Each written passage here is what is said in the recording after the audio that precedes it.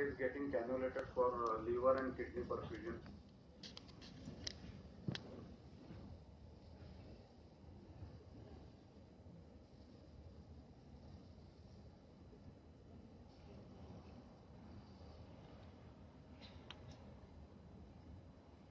All cannulas are in place to stop the heart.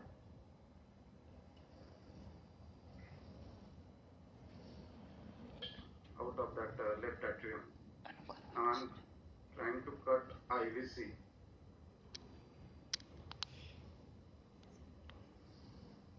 It's difficult to make out in that amount of blood.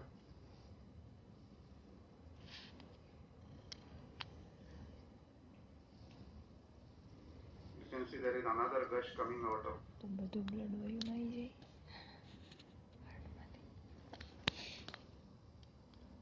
black blood, that is IVC which is cut.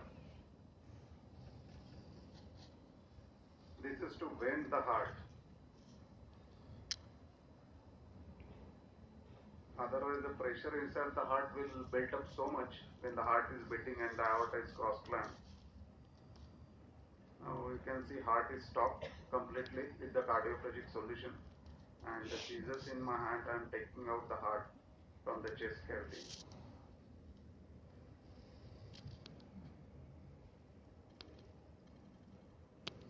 I'm cutting the heart from the chest cavity.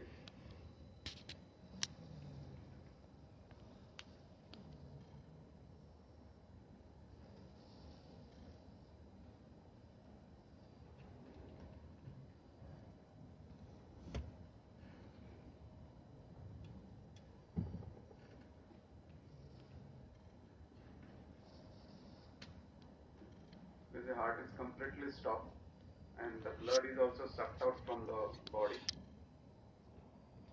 Can those two holes can be seen as uh, inferior uh, pulmonary veins